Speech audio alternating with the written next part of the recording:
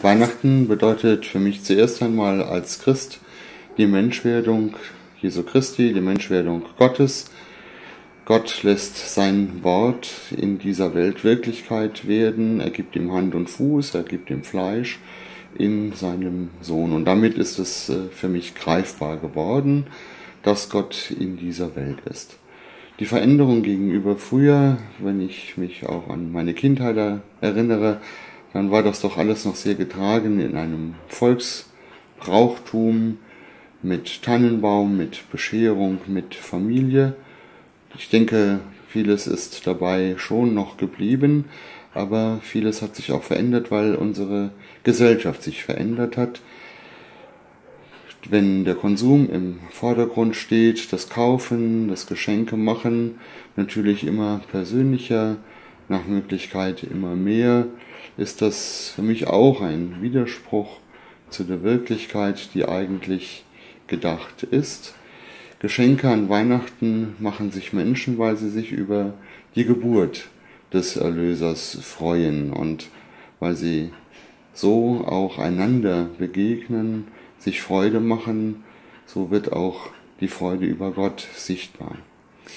Ich wünschte mir eigentlich, dass in unserer Gesellschaft ja mehr Dankbarkeit wieder in den Vordergrund gestellt wird, über die Dankbarkeit, dass Gott an der Seite von uns Menschen ist, dass wir eucharistische Menschen werden, das heißt auch die Dankbarkeit feiern. Vieles ist viel zu selbstverständlich. Dieses Dankbarsein heißt auch demütig sein, heißt auch sich auf Gott zurückgeworfen wissen, sich von ihm her, vom Ursprung her betrachten und dann auch mit ihm das Leben in dieser Welt gestalten.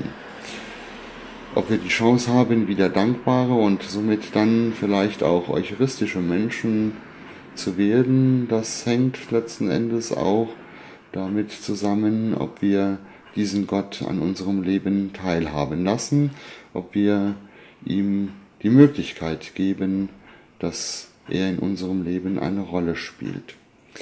Weihnachten ist dann in dieser heutigen Zeit mit Sicherheit für mich auch das Fest des Friedens, weil es so wie die Engel es sagen, Ehre sei Gott in der Höhe und Friede auf Erden den Menschen seiner Gnade, dass wir aus der Dankbarkeit uns der Gnade Gottes bewusst werden und somit Friede möglich wird in dieser Welt, der so nicht in allen Ländern, nicht in allen Familien, ja nicht einmal in jedem Menschen selbst gegeben ist.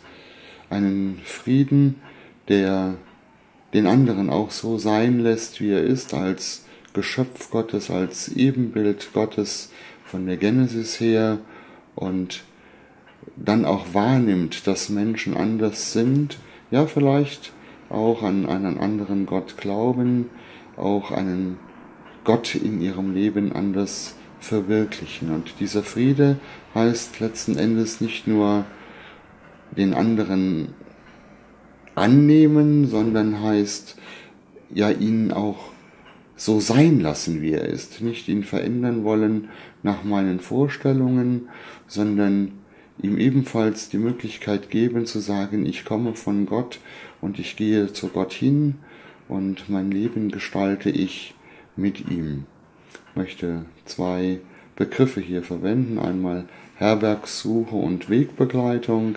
Das ist das, was nicht nur Kirche sein kann, das, was wir versuchen im Bistum Trier mit der Synode zu sein, sondern was jeder letzten Endes für sich selbst Wirklichkeit werden lassen muss, auf dem Weg sein zu Gott, zum himmlischen Jerusalem.